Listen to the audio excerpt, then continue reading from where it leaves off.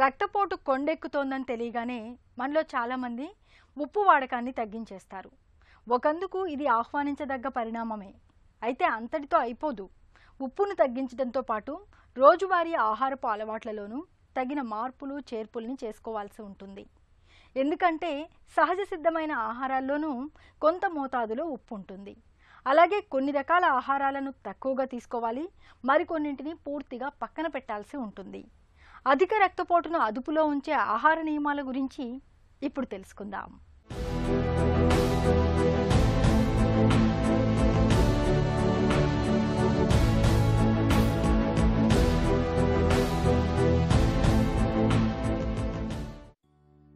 High బీపీకి రోజూ మందులు వేసుకుంటున్నాం. ఉప్పు కూడా బాగా తగ్గించేశాం. అయినా బీపీ అదుపులో ఉండటం లేదు అని వాపోతుంటారు మనలో చాలామంది. నిజానికి రక్తపోటు నియంత్రణలో ఉండడానికి మందులొక్కటే చాలవు. ఉప్పును తగ్గించినంత మాత్రాన బీపీ వెంటనే అదుపులోకి వచ్చేయదు. రక్తపోటును అదుపులో ఉంచుకోవడానికి ఒకవైపు మందులు వాడుతూనే మరోవైపు మన ఆహార అలవాట్లలోనూ అనేక మార్పులు చేసుకోవాలి. ముఖ్యంగా సోడియం ఉన్న ఆహారాలను బాగా తగ్గించాలి. అలాగే పొటాషియం లభించే ఆహారాలను ఎక్కువగా తీసుకోవాల్సి ఉంటుందని చెబుతున్నారు డాక్టర్. హై బీపీ అంటే రక్తపోటు అంటారు. ఈ రక్తపోటు ముఖ్యంగా ఎందుకు వస్తుంది అంటే నార్మల్గా మన శరీరంలో ఉన్న నర నరాలన్నిటికీ ఒక ఎలాస్టిక్ ఎలాస్టిసిటీ ఉంటుందండి. అది ర- రక్తం ప్రవహించినప్పుడు అవి ఎక్స్పాండ్ అవుతూ ఉంటాయి. దాంట్లో ఉన్న ప్రెషర్ తగ్గిపోతుంది. అందుకని ప్రెషరు అలాగ చక్కగా బ్యాలెన్స్ అవుతూ ఉంటుంది అనమాట సో దానివలన మనకి బ్లడ్ ప్రెషర్ అయితే ఏదవుతుందో అది మెయింటైన్ అవుతూ ఉంటుందన్నమాట. దీనికి రక్త కణాలు ఇవన్నిటిలో ప్రవహించేది ఎలాస్టిసిటీ తగ్గే తినే ఆహారం తినే ఆహారం బట్టి ఆ ఎలాస్టిసిటీ మెయింటైన్ అవుతూ ఉంటుంది.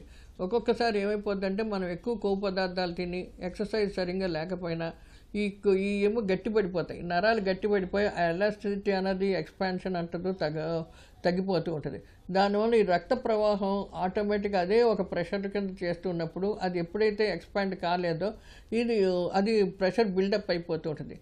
దాన్ని బ్లడ్ ప్రెషర్ అంటారనమాట ఈ వెసల్స్ చుట్టూను కొవ్వు ముడిపోవడం వలన దాని యొక్క పరిమా పరిమాణం బాగా తగ్గిపోతుంది. అందులో బ్లడ్ ప్రెషర్ వచ్చేస్తుంది. సో ఈ అన్నిటికీ మూల కారణం ఆహారం. ఎటువంటి ఆహారం తీసుకుంటే ఆగుద్ది అంటది. ఫస్ట్ ఏంటంటే ఉప్పు మటుకు వయసు ప్రకారంగా తింటూ ఉండాలి.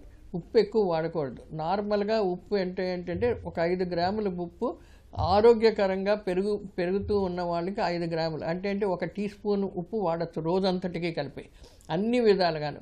కానీ ఆ ఉప్పుని మనం కొంచెం ఏమాత్రం షుగర్ పేషెంట్స్ ఉన్నా వయసు కొంచెం మళ్ళిన వాళ్ళు ఉన్నప్పటికీ అందులో రెండున్నర గ్రాములు మూడు గ్రాముల మధ్యలోనే వాడాలి రోజంతటికి.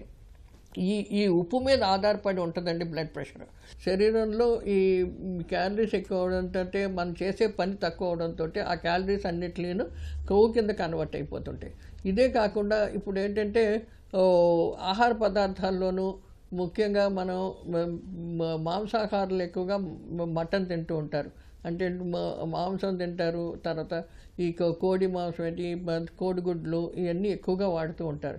దాంట్లో కొవ్వు పెద్ద కొవ్వు ఏంటంటే సంపూర్ణమైన కొవ్వు కాబట్టి అది చాలా ఎక్కువగా మనకి రక్త కణాల్లో పట్టేస్తుంది. తర్వాత ఈ ఈ నరాల్లో కూడాను స- ఆ- నరాల యొక్క ప- ఇది డైమెన్షన్ ఎంత ఉందో అది బాగా తగ్గించేస్తూ ఉంటుంది. దానివల్ల రక్తపోటు వచ్చేస్తాయి రక్తపోటు సమస్య తీవ్రతను బట్టి మందుల్ని వాడుకోవడంతో పాటు ఆహారంలోనూ తగిన జాగ్రత్తలు తీసుకోవడం ద్వారా బీపీని అదుపులో ఉంచుకునే ప్రయత్నం చేయాలి. ఉప్పు వాడకాన్ని బాగా తగ్గించాలి. పూర్తిగా మానేస్తే మరీ మంచిది. అలాగే పొటాషియం పుష్కలంగా లభించే బొప్పాయి అరటి మామిడి కమల స్ట్రాబెర్రీ కాకర మునక్కాడ వంటి ఆహారాలను తరచుగా తీసుకుంటూ ఉండాలి. అరటిపండు జామపండు పుచ్చకాయ నేరేడు పండ్లకు బీపీని అదుపులో ఉంచే గుణం ఉన్నట్లు పరిశోధనలు చెబుతున్నాయి. వీటిని తరచుగా తింటుండాలి. రక్తపోటును అదుపులో ఉంచడంలో వెల్లుల్లి బాగా సహాయపడుతుంది రోజువారీ వంటల్లో వెల్లుల్లిని ఏదో ఒక రూపంలో తప్పనిసరిగా తీసుకోవాలి. వంటలకు నువ్వుల నూనె లేదా ఆలివ్ నూనెను వాడటం మంచిది. ఉదయం పూట లేవగానే బీట్రూట్ రసాన్ని తాగడం వల్ల కూడా మనలో రక్తపోటు చక్కగా అదుపులో ఉంటుంది. అలాగే టమాటాల్లో ఉండే లైకోపిన్ అనే రసాయనానికి బీపీని తగ్గించే గుణం ఉంది. ఆహారంలో టమాటాలు తప్పనిసరిగా ఉండేలా చూసుకోవాలి. అలాగే నిత్యం గ్రీన్ టీ తాగడం వల్ల కూడా బీపీ చక్కగా అదుపులో ఉంటుందని చెబుతున్నారు నిపుణులు. మన రోజువారీ ఆహారంలో ఒక ముప్పై శాతం క్యాలరీస్ కొవ్వు పదార్థం నుంచి రావాలి. అంతకంటే ఎక్కువ రాకూడదు. అంటే ఏంటి? ఇరవై నుంచి ముప్పై గ్రాములు నూనె కానీ నెయ్యి కానీ వెన్న కానీ ఏదైనా సరే అంతకంటే ఎక్కువ తినకూడదు. ఇప్పుడు ఏది ఎలాగున్నా సరే ఈ బ్లడ్ ప్రెషర్ వాళ్ళకి రక్తపోటు ఉన్న వాళ్ళకి చాలా జాగ్రత్తగా ఉప్పును షుగరు మెయింటైన్ చేయాలి. కొవ్వు పదార్థాలు జాగ్రత్తగా మెయింటైన్ చేసుకోవాలి. ఇందులో ఇప్పుడు కొత్తగా వచ్చిన పరిశోధన ప్రకారం ఏంటంటే నూనెల్ని జా ఏంటంటే ఇప్పుడు మనం చాలా ఎక్కువగా రిఫైన్డ్ ఆయిల్స్ వాడుతున్నాం. ఆ రిఫైన్డ్ ఆయిల్స్ కాకుండా ఇప్పుడు మన గానుగ పట్టిన నూనెలు అంటాం మనకి. అదే ఇదేంటి కుసుమ నూనె ఉండొచ్చు లేకపోతే నువ్వుల నూనె ఉండొచ్చు పల్లి నూనె ఉండొచ్చు ఏ అయినా సరే గానుగ పట్టిన నూనెల్లో ఏమైపోతుందంటే అది రిఫైనింగ్లో చాలా కెమికల్స్ వాడతారు.